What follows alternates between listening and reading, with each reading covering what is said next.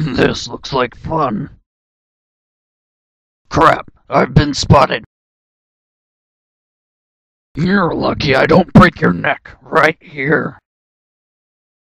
You summoned me, Lord Bowser. Well, my work here is done.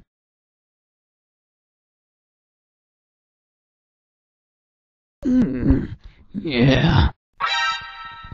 Wait, this isn't what it looks like. I swear. I was just checking her drawers to see what size she was, um, so I, uh, knew what to get her for her birthday. Really, Otacon said it would be a good idea. Wait a minute. I'm Solid Snake. I have nothing to worry about, except maybe a refill on my Viagra. Old age has been catching up to me lately.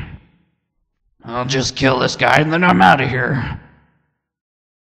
It's me, Mario.